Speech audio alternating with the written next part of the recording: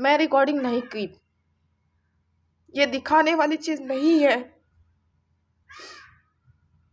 किसी को दर्द, तकलीफ़ और हम रिकॉर्डिंग करें, शर्म आती है। मैंने रिकॉर्डिंग नहीं की। लेकिन अपना दर्द बांटती हूँ इसलिए कि मेरा दर्द, मेरा दुख कम हो, दुख बांटने से कम होता है।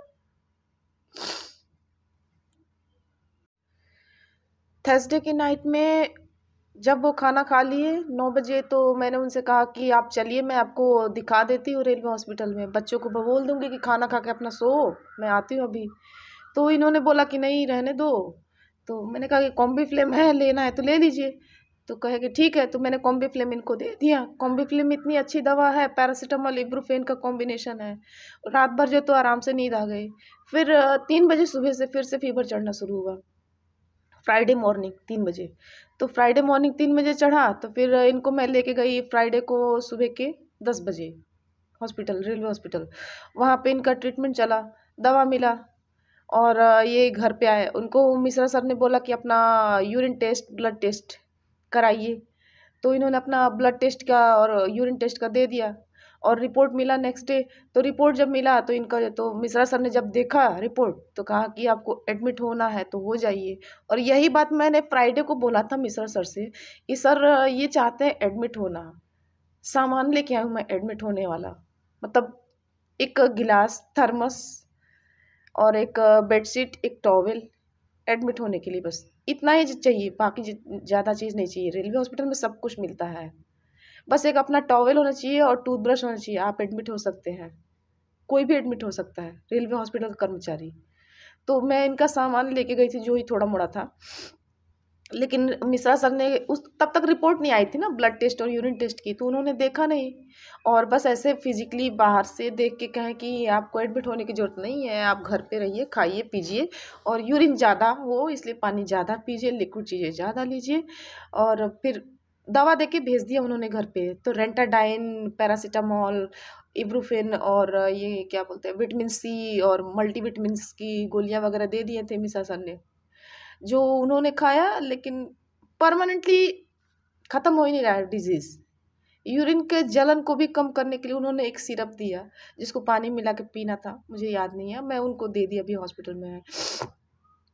उन्होंने लिया, जब तक दवा ले रहा है तब तक ठीक है, जब जैसे ही दवा का असर ख़त्म हो रहा है। जैसे तीन, चौबीस घंटे में तीन बार लेना है, सुबह, दोपहर, शाम। सुबह ले रहा है, दोपहर आते आते आते आते असर ख़त्म। फिर दोपहर को ले रहा है, फिर शाम होते होते असर ख़त्म। जो जो शाम को ले रहा है दवा नेक्स्ट डे में आते आते, फिर जो तो वही तीन बजे भोर में सैटरडे को फिर से तकलीफ़ शुरू। तो दवा से आराम नहीं हो रहा है। इसीलिए मैं सैटरडे को फिर सुबह गई दस बजे और फिर से हम लोगों ने दिखाए वो सर बोले कि अगर तब रिपोर्ट आई। रिपोर्ट देखा सर ने और सर बोले कि आपको एडमिट होना चाहिए। अब ये बोल रहा है मेरे हस्बैंड कि सर एडमिट नहीं होना है। तो मिश्रा सर ने उनको पंद्रह अप्रैल से बढ़ा के सत्रह अप्रैल कर दिए रेस्ट के लिए। अब इनके दिमाग में ठनक रहा है कि मुझे ड्यूटी करना है ड्यूटी करना है। तो ये कह रहा है, नहीं सर नहीं सर, मेरा सब कुछ ठीक है, बस मेरा ओके कर दीजिए, मैं ड्यूटी करूँगा। मिश्रा सर बोले, मज़ाक नहीं कर रहे हैं। जो रिपोर्ट बता रही है, उस पर बता रहे हैं। आपको एडमिट होना चाहिए। तो ये करें, मैं एडमिट नहीं होऊँगा, मैं घर पे ठीक हो जाऊँगा। घर पे चले आए हम लोग, शाम के तीन बजे। फिर एक घंटे किसी तरह से खाना खिलाई मैं सबको, और अपने भी खाए। बहुत, दिन भर जो तो हॉस्पिटल में रह के ना एकदम से भूख लग गई थी अंदर से। तो घर पे आई दाल, रोटी और आम की, कच्चे आम की चटनी बनाई, वही खिलाई सबको और वही मैं भी खाई, और सब लोग सो गए। वो दवा खा के सो गए उधर, मैं भी इधर बच्चों के साथ में, बच्चे तो खेल ही रहे थे। बच्चे नहीं सोते दिन में। फिर एक घंटे बाद साढ़े चार बजे उठ रहे, कह रहे कि मुझे सिर फट रहा है मेरा, सिर दर्द हो रहा है।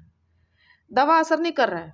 दवा धीरे धीरे धीरे धीरे असर नहीं कर रहा है। इनको अंदर से तो इन, इन्फेक्शन जो है ना, यूरिन का इन्फेक्शन बढ़ रहा था तो इन्होंने कहा कि मेरा सर फट रहा है। तो मैंने कहा कि यार देखिए, उन्नीस बीस उन्नीस बीस उन्नीस बीस लगा हुआ है प्लीज़ सर बोल रहा है कि एडमिट हो जाइए तो एडमिट हो जाइए।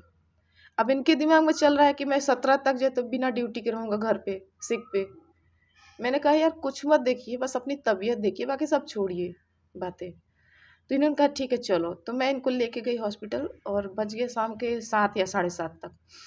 मैं रिकॉर्डिंग नहीं की। ये दिखाने वाली चीज़ नहीं है। किसी को दर्द तकलीफ़ और हम रिकॉर्डिंग करें? शर्म आती है। मैंने रिकॉर्डिंग नहीं की। लेकिन अपना दर्द बांटती हूँ इसलिए कि मेरा दर्द मेरा दुख कम हो, दुख बांटने से कम होता है।